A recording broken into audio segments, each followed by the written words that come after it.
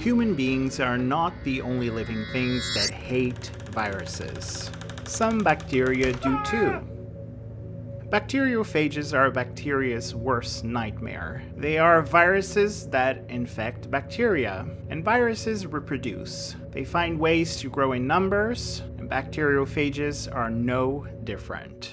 They use a couple of methods to reproduce, and one of them is the topic of this video, the lytic cycle. In the lytic cycle, a phage acts like a typical virus. It takes over its host cell and uses the cell's resources to make lots of new phages. This hijack will then cause the cell to burst and die. And these are the five main stages of the lytic cycle. The first one is called the attachment stage. And here proteins in the tail of the phage bind to a specific receptor, which in this case is a sugar transporter, found on the surface of the bacterium. After that, the entry stage happens, and this is when the phage injects its double-stranded DNA genome into the cytoplasm of the bacterial cell.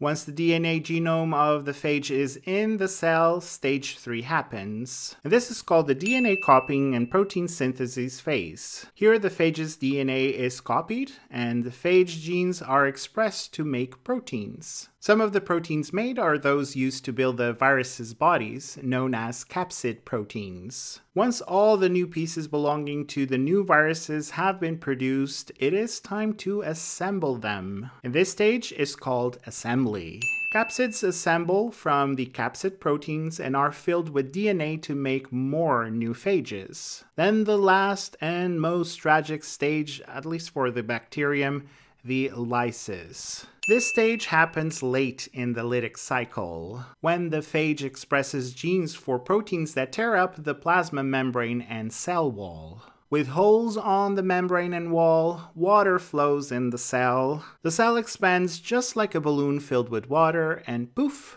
bursts. This cell bursting is called then lysis. This is when hundreds of little bacteriophages are released into the world and are now ready to conquer new bacteria. And that is it for our quick review on the lytic cycle. I hope you guys enjoyed this video. Make sure to like it if you want to see more of these review videos. And make sure to subscribe this channel because I will be releasing more videos, so do not miss a thing. And I will see you next time.